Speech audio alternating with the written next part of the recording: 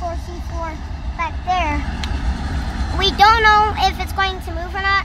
The light over there is still red. Switch probably isn't lined yet.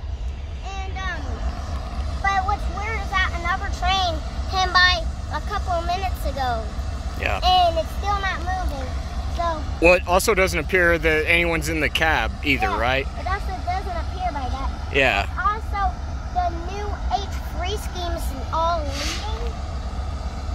And if you continue going down there, you can see like it's really cool. And like you can see a lot of spaces.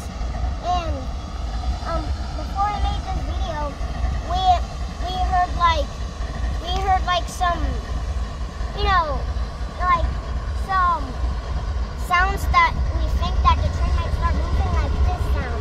It might start moving.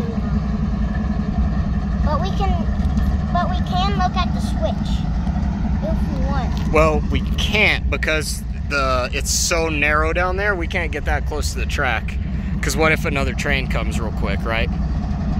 But, um, you know, I just think I think this one maybe just parked here for a while. Yeah.